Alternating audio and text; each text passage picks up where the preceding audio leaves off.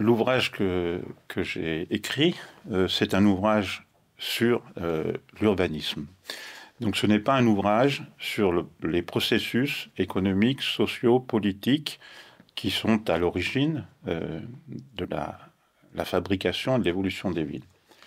C'est un ouvrage sur l'urbanisme, c'est un ouvrage à la fois sur les théories de l'urbanisme et sur les modes de fabrication de la ville, et c'est aussi un, ouvrage sur l'interrelation entre les deux. Par exemple, je parle de l'urbanisme haussmanien. Euh, Haussmann n'a jamais écrit une ligne sur, euh, sur la ville, il a fait des mémoires, il y a trois lignes sur ce qu'il a fait à Paris.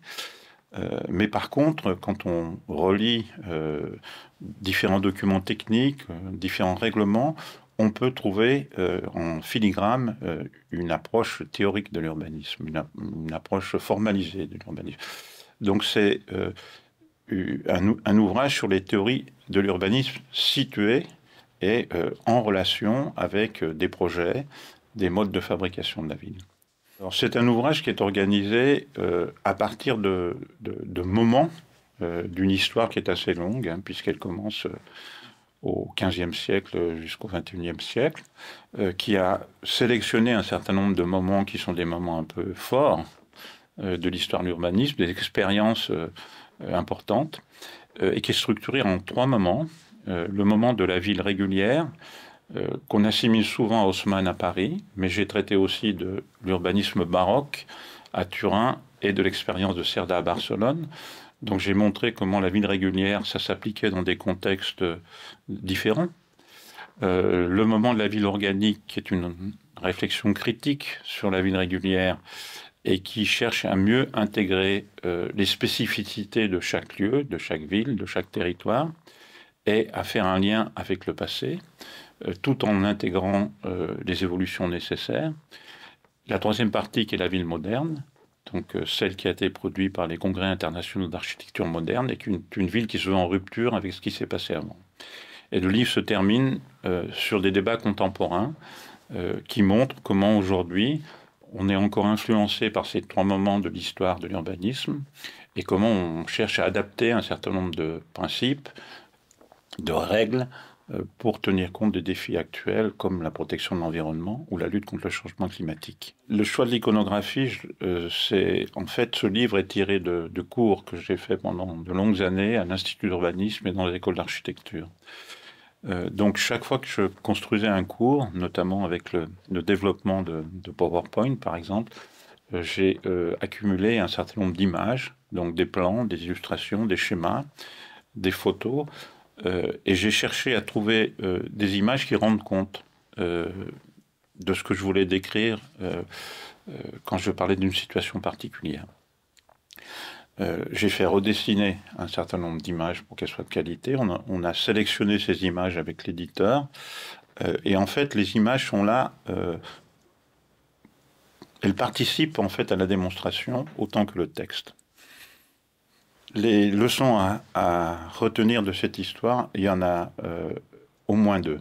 Peut-être il y en a d'autres, chaque lecteur euh, décidera.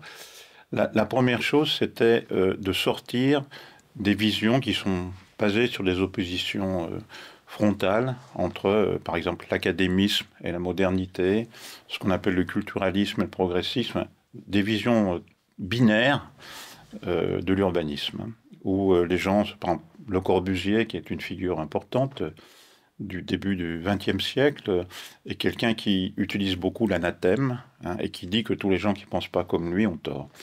Et donc ça, c'est quand même quelque chose qui était très très présent euh, dans euh, l'urbanisme en général, notamment en France, et qui euh, empêchait de penser toute une série de, figures professionnelles, de, de théoriciens de l'urbanisme, de théoriciens d'architecture, qui essaye de concilier différentes choses. Par exemple, qui essaie de concilier le respect de l'histoire du lieu, euh, la prise en compte du patrimoine, pas simplement le patrimoine architectural, mais aussi le patrimoine urbain, et puis la nécessité de euh,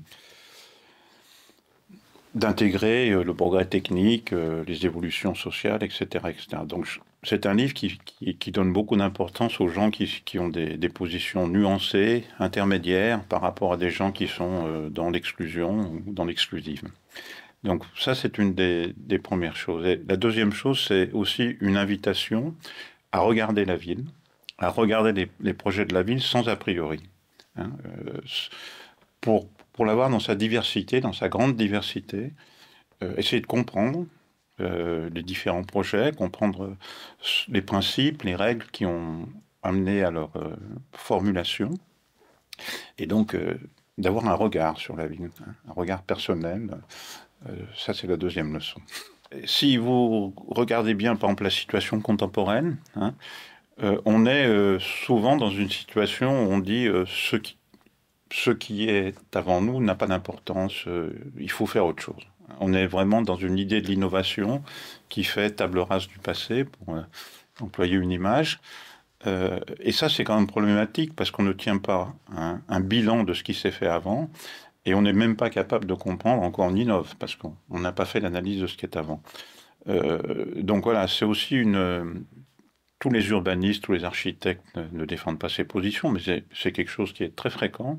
Et donc c'était aussi une façon euh, d'expliquer que même si on veut agir dans un contexte nouveau, c'est important euh, de faire le lien avec l'histoire, de voir ce qui a été, euh, comment on a pensé les choses, comment on a expérimenté les choses, et de se positionner par rapport à ça pour, pour, pour tenir compte des enjeux contemporains.